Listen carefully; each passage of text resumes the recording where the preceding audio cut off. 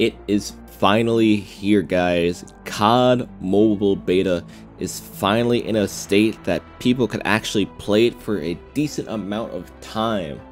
Only downside to it is you can only play it on Android. So all you iOS people out there, I guess you're just out of luck. Unless you have a computer. I'm Hacks and I'm going to be showing you how to actually set up an Android emulator on your PC, on your Mac, to actually run COD Mobile. So even if you do not have an Android uh, device yourself, you can still play the game, you can still get a brief experience of what it will be like uh, before the actual official launch, which should be next month. So starting off here, as you see, I have it right here on my Android emulator. Uh, this is my PC, uh, as you see in the entire screen. And we have COD Mobile. Everything works pretty well. I was even doing a stream earlier today, uh, and I was able to record some content of that, so I'll probably post that a bit later. Um, but how do you how do you get it to this point? How do you make it so you get it's actually playable? Well, let's start off from the beginning since a lot of people are probably confused on how to get all this stuff set up uh, to begin with. Now, starting off, you will need a Android emulator for PC. I personally recommend um, Nox Player. Uh, their website is noxofficial.com. Uh, I just like their support and I like uh, how they have the setup for it. As you see, they have Nox for Windows and they have Nox for Mac. So you could use this on either of those platforms. After you download the emulator, uh, you'd want to actually go into the emulator itself. So as you see on my desktop, it installed the default icon, multi-drive. You could also use the, the other one that just has Nox, but um, I recommend doing multi-drive because it gives you a bit more options to configure uh, right away. Now, I have a lot of different emulators running, uh, or I have a lot of different emulators set up for different games. Um, but you guys probably will have nothing when you actually open up the multi uh, the multi drive for Nox. What you would want to do is click Add Emulator. Click on Android 7.1.2 it will actually install a brand new emulator as you see right here down here. You can name it whatever you want, but for example, we're going to say uh, COD Mobile uh, install. I'll just call it that for now. So this is the COD Mobile install. Uh, before you launch the emulator, what I would recommend at least is setting it to high, uh, which is four uh, CPU cores and at least three gigs of RAM. Um, some people might not be able to run it on high depending on what type of computer they have, uh, but it's at least the the recommended one I would give you since that's the easiest way to run it. Um, and for graphics rendering mode, uh, I would recommend DirectX. I've had a lot better luck with running it with DirectX, um, but you might have uh, different options or different luck uh, with the OpenGL uh, versions. So I'll just put it on DirectX for now. Um, and I'll save it with that and launch the emulator. So the emulator is going to launch all all fine. It should only take a few moments depending on how fast your computer is. Um, there's also a few other files that you'll need to download before you actually uh, have this game fully installed. You could download them either straight from the emulator or you could download them onto your computer. Um, for the sake of, of this video, I'll just show you how to do it from both methods. As you see, I have all the files already here in one folder that I would need for this uh, need for this COD mobile to work. Uh, but I'll also show you how to get those same files from the uh, from the emulator itself in case you don't want to actually download it straight to your computer. Now, the links uh, I'll be providing are actually coming straight from COD Mobile Leaks. So I recommend checking out their Twitter page. Uh, they've been on top of getting out all this uh, all this new information and all these files, uh, so everyone can play a bit earlier than the actual official release. as you see in their pinned tweet, they have the APK file and they have the OBB file, which is the data file for the COD Mobile. First off, we're going to download both the APK and the OBB file. And like I said, you could do this from either uh, you could do it from either your PC or you could do it from the actual uh, emulator itself. So if I go here and I just type in Twitter, not now, So you, you could just download them straight from the, the emulator if you just go into the browser and use the link. So you would download the APK, you download the OBB file. Um, if you downloaded them straight to your computer, it's a slightly different method, so let me just show you guys that right now. Um, first, you would need to actually go into your emulator, go into Amaze if you're using Nox. If you're using like ES, it's uh, it's it's pretty similar. Just whatever file explorer that you have, you go into Android. Uh, you see a data folder. Where you see the data folder, you click a new folder, type in OBB if you don't have an OBB folder already. Inside the OBB folder, you'd create another folder called com.activision dot call of duty dot com and uh not com uh oh geez guys i'm messing up dot shooter it's almost like a website but it's not a website now, once you have this file right, or this folder right here, this is where the OBB uh, that you just downloaded from that Twitter page, from that mega, uh, will be going. So, for example, I'm gonna have to drag it over. I'll have to root the emulator uh, since I'm just dragging it from my PC, but that's fine. I'll just quickly restart the emulator so I could do the root. I'll have to reload. You could you could do the root before you actually uh, do the entire setup, but I'm I'm just trying to keep this in like steps. All right, so since this is now rooted, I can go and drag my file in. Uh, make sure to allow this having a super user access. Android OBB com.activision.callduty.shooter. Drag in that file. You open the PC folder. So as you see, I have it in my Nox share folder. So make sure the file is actually in this folder if you want to bring it to the emulator. Then you click on open the Nox player folder. As you see, it has the copy of the OBB. Let me quickly rename it though, uh, just so it doesn't have the copy at the end of it. There we go. We're gonna actually now copy this over, or I'll just cut it. We're gonna go back to storage, Android, OBB, and we're gonna paste it into this folder. Now, at least for uh, this file manager, it might take some time for it to actually appear. Recommend you're just refreshing it a few times. And when you open it up, click on properties. Make sure it says it's uh, at least 1.31 gigabytes uh, in, in size. So it might take some time depending on how fast your computer is, like I'm saying. Once it actually gets up to that size of uh, 1.3 gigabytes, you should be good to actually finish the rest of the steps. As you see, it might take some time for it to actually transfer all the files over to here. It's not the best file explorer uh, that it comes with by default because it doesn't actually tell you when it's done transferring the file. Uh, but it, it's good enough to, to get the job done for this. Now, now that you have that there, what do you do next? I recommend uh, installing a VPN right away. Um, the easiest one I've found to use would be Kiwi VPN, uh, also stated by COD Mobile Leaks. So shout out to them. Uh, you can just find it by going to Kiwi VPN APK.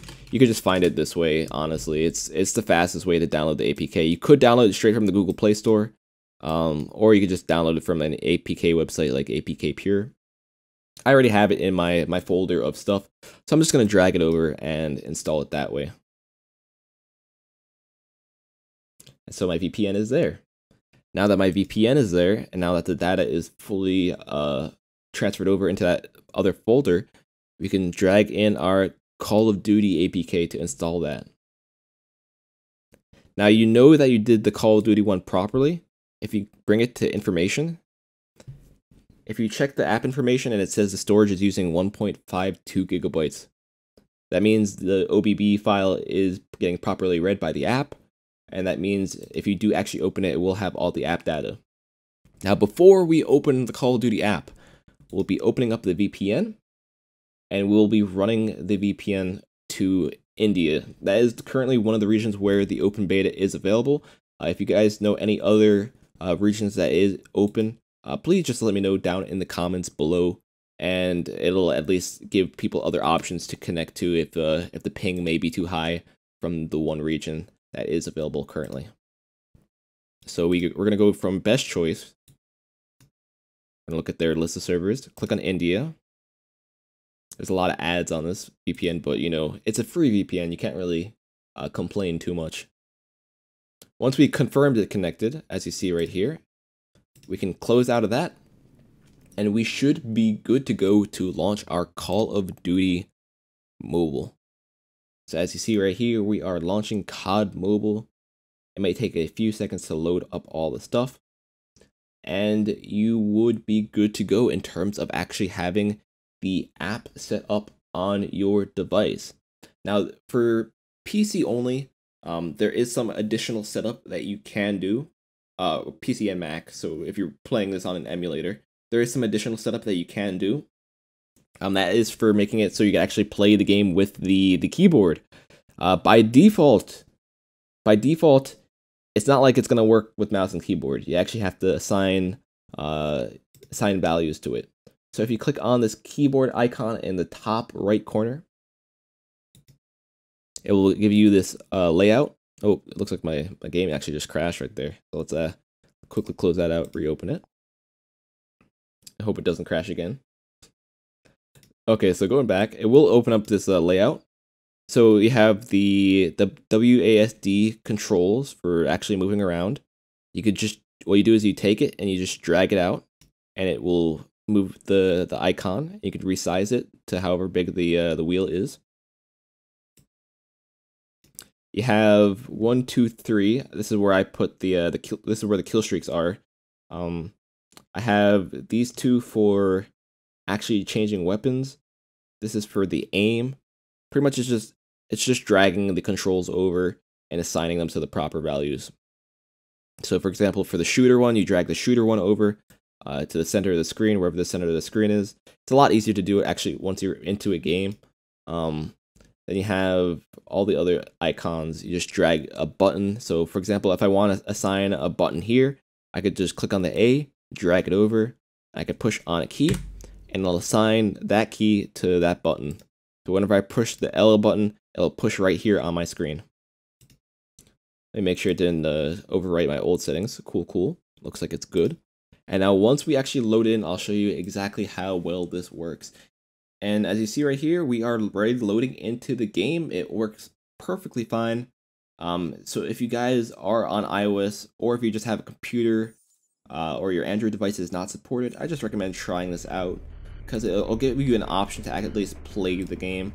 As you see right here, it runs relatively smooth uh, on my end. And this is not even the best settings.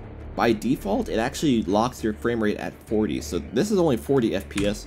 As you see right here in the top corner, it's probably really tiny, but I'll, I'll make sure I, I zoom it in to make it look better for you guys. Um, we can't actually do anything about that until we actually get to our, uh, until we actually get to the point where we actually can actually change our settings. So you have to actually go through the tutorial.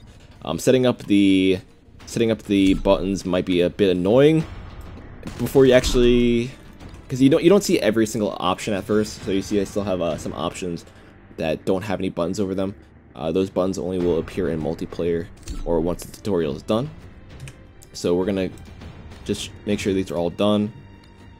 And this is what I did. Uh, once I got to like this point into the tutorial, I would actually go to that keyboard thing, make sure I could set up as many of these buttons as possible.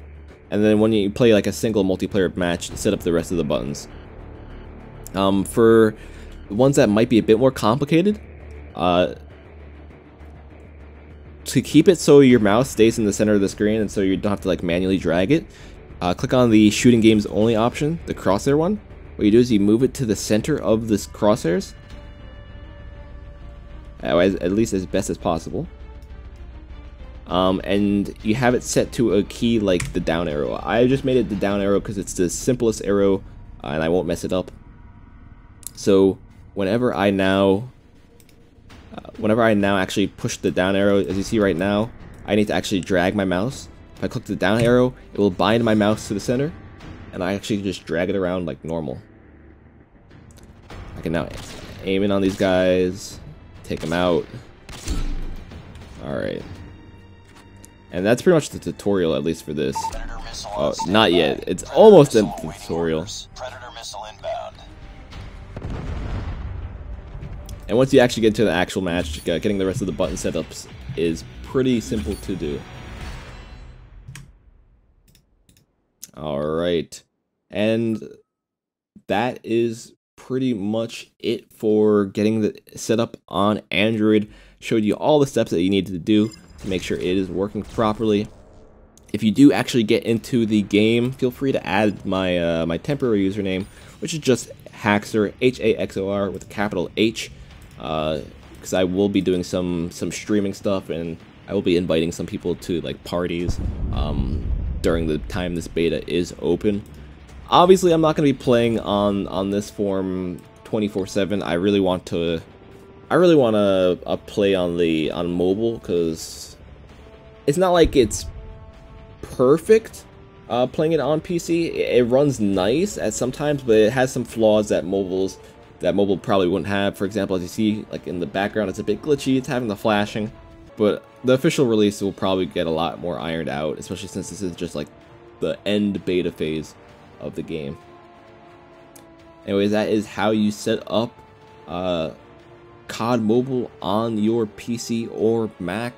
Uh, if you enjoyed this video, feel free to just give it a like. Make sure you do comment down below if you have any problems. I'll try my best to respond and help you out. Um, if you have any, any other issues, just like I said, just comment down below. I'll try to be around as much as possible because I know I was pretty excited for this game. I know a lot of you are also still excited, but you weren't able to access it right away from Android devices because maybe you don't have an Android device or yours wasn't supported. Anyways, that will be it for today. Thank you guys so much for watching. This is Hacks. Hope you were able to get this working, and I'll see you next time. Peace.